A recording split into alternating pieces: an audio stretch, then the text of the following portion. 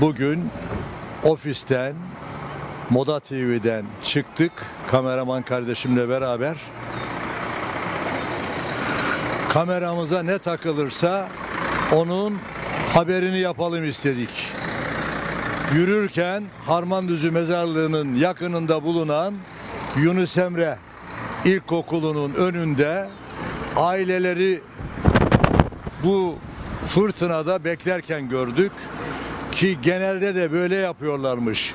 Bizler de okuduk saygıdeğer izleyenler. Kendimi söyleyeyim. Kaba- Saraçlı Mahallesi Kabakçılar mevkiinden Kaledere İlkokulu'na gelirdik.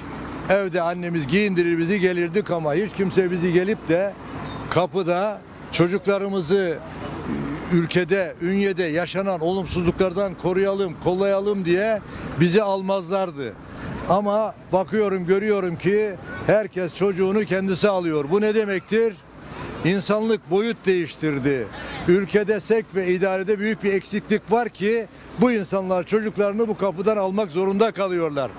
Biz buradan öneriyoruz diyoruz ki dolmuşla servislerle giden e, okullara gidip gelen öğrencileri de servis şoförüne güveniyoruz. Ya o da kansız ruhsuz çıkarsa ne yapacağız? Sonumuz kötü. Onun için sek ve idare çok önemli.